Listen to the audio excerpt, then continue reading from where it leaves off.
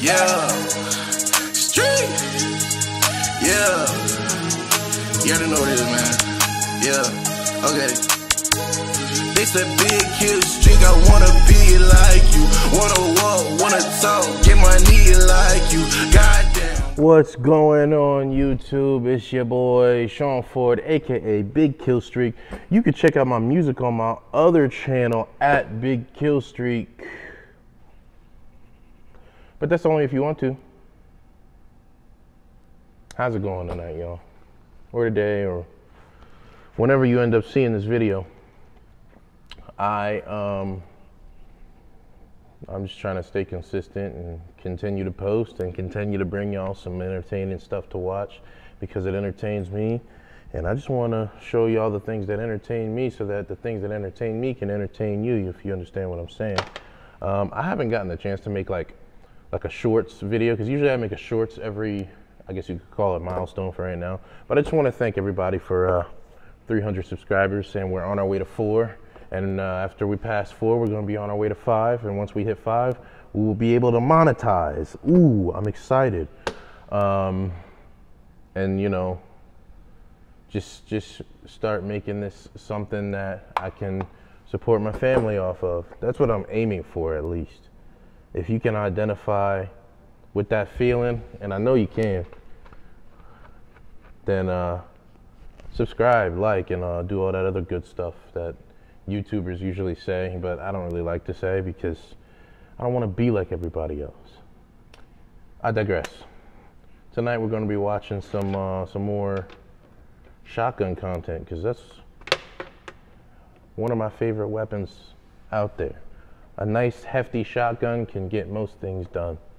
Whether you're talking birdshot, buckshot, or slugs. And uh that's what we're going to be taking a look at. Some crazy looking slug. I don't know what's going on with it. Like I always tell y'all, this is the when when I'm watching something, it's my first time watching something because we're watching it together. You and me, me and you, you and me, me and you, together. We're watching for the first time. I don't pre-screen most of these videos. I'm pretty certain most of them are watchable, or else they wouldn't be on YouTube to begin with. Uh, so yeah, yeah. If you want to call me stupid for not pre-screening my videos, fair enough. Um, but without further ado, let's get this thing started. We got the craziest looking slug you ever saw. Hello, this is Jeff of Tau Mouse. We've got another interesting experimental slug to show you, this time from a viewer named Brian Gradell. Gradell. Gradell. Now this is a steel slug made of a nitrous canister, but filled with some interesting materials. Now Brian sent a box just chock full of different slugs, and a lot of these just vary in weight and design. And some weigh Huh. 27 grams, some weigh 57 grams. As you can see, we have a lot of variations here. Some are a round nose, some are a flat nose, some are a hollow point, some are a hollow base, some are a solid base. Damn. They are beautifully made, but it's still a loader's nightmare to try to work with all those different variables.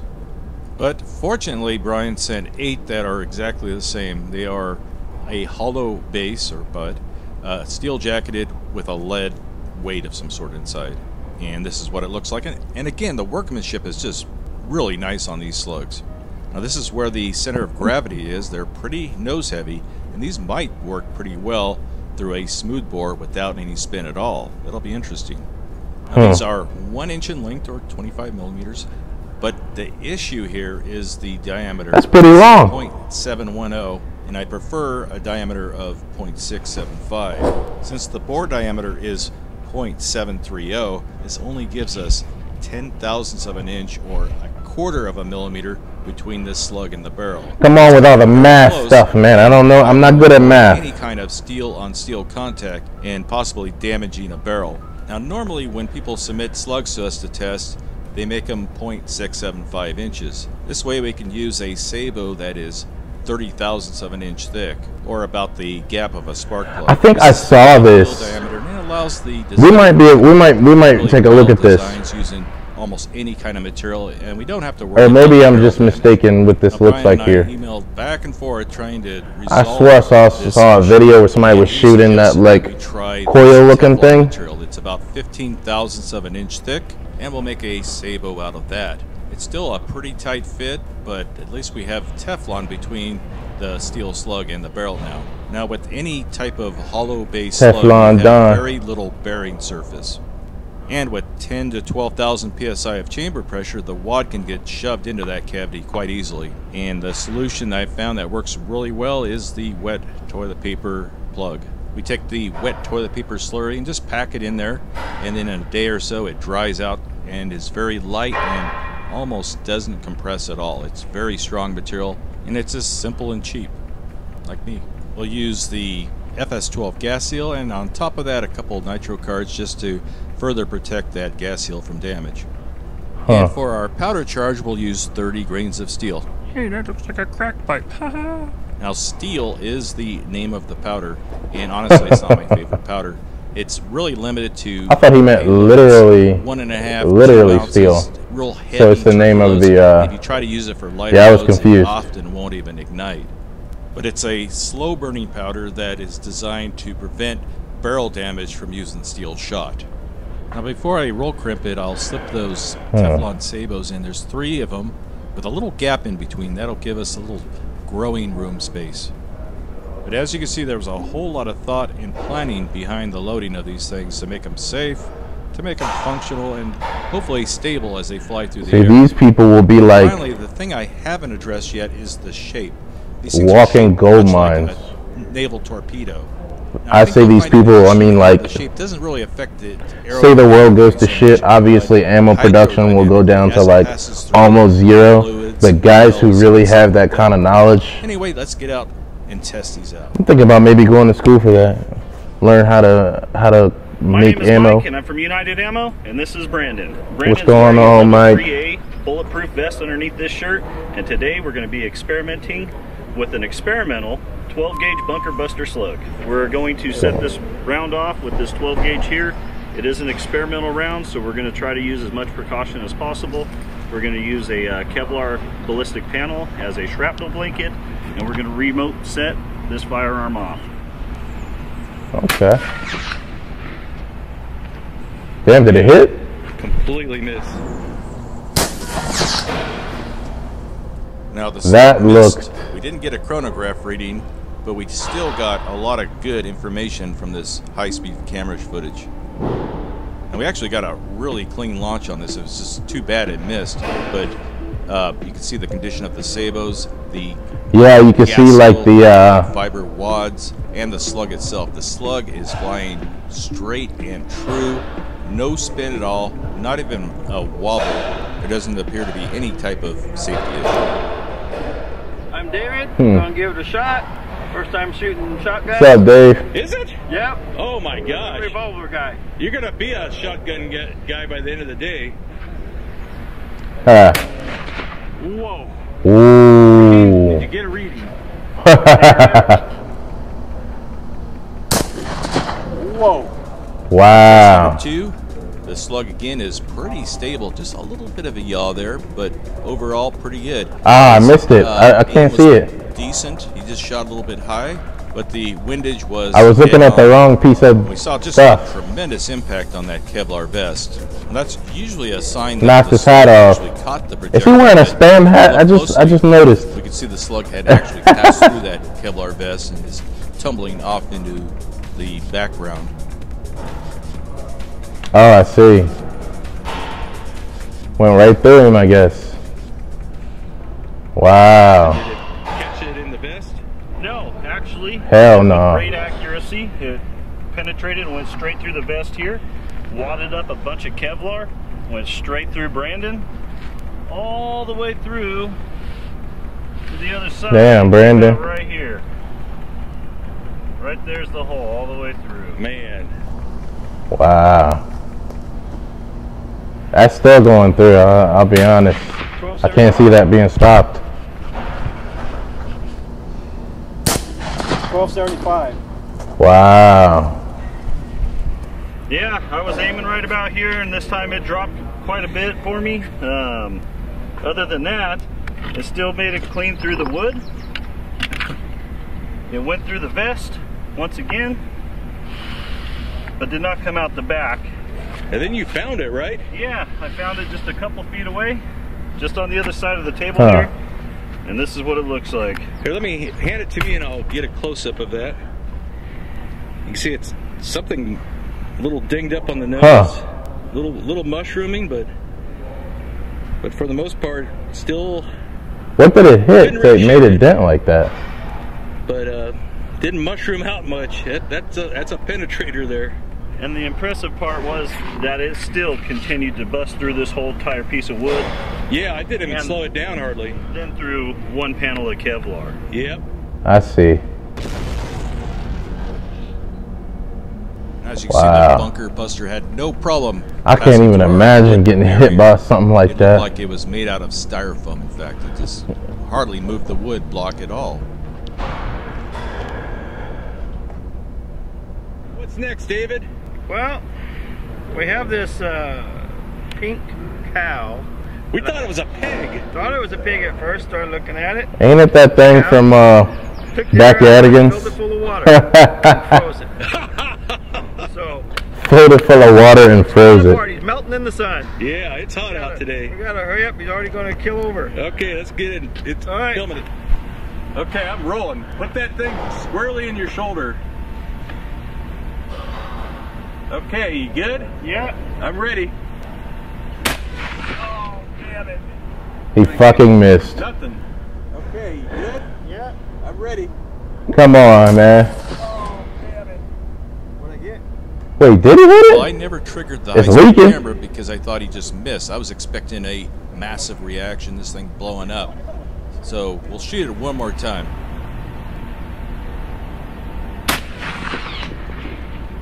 Did he miss again?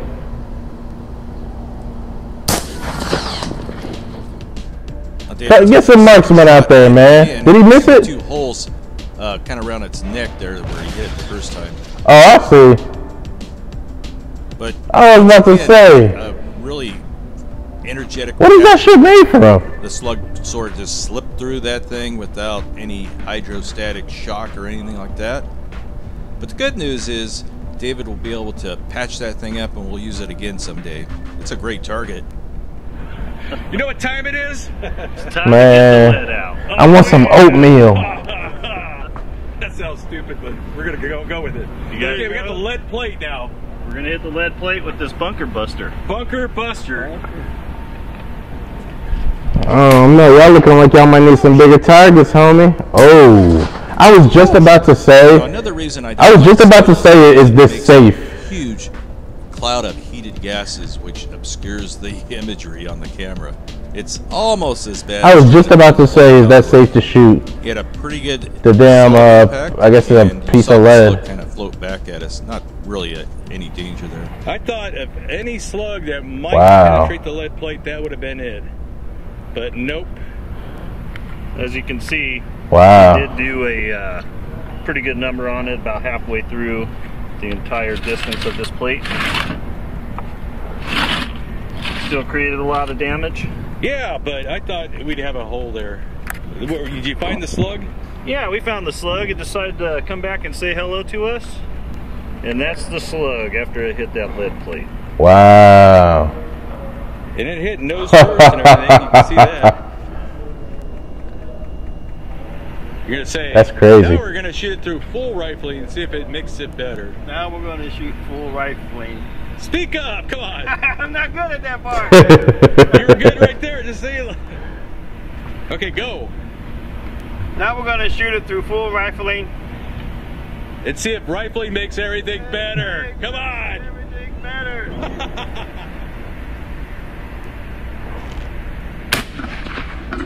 Wow, it just went right through it. Damn. Didn't blow up. Still no evidence that rifling makes anything better, at least in this case. But we had a more accurate shot.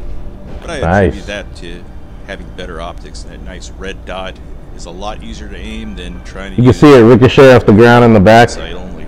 But we can really see how that torpedo-shaped projectile really efficiently traveled through that joint compound, hardly disrupting it at all. And it's quite a contrast Damn. from last week's test of the steel tornado.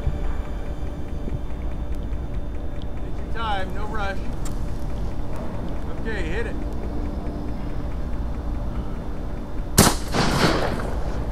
Whoa.